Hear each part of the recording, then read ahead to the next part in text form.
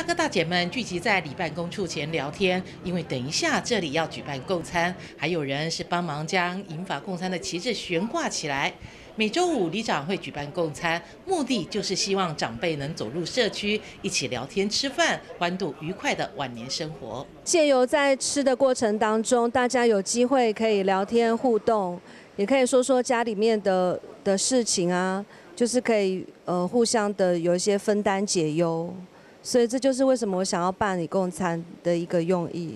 共餐中特地还有人送香蕉过来，他是徐林长，他说香蕉是朋友山上种植的好东西，当然要与长辈们一块分享。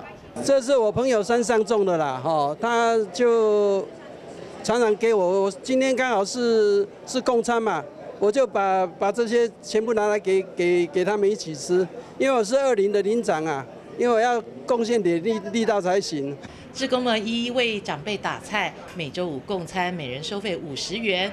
他们说一点都不贵，六七道菜，还有水果甜点。而最吸引人的是，不用一个人在家吃饭配电视，而是与一群人享用午餐、聊天，享受浓浓的人情味。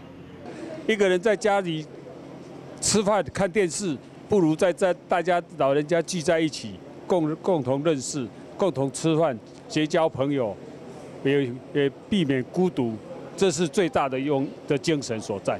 周五来到里办公处前的骑楼共用午餐，犹如是昔日农业时代大伙在庙城请客一样的热闹。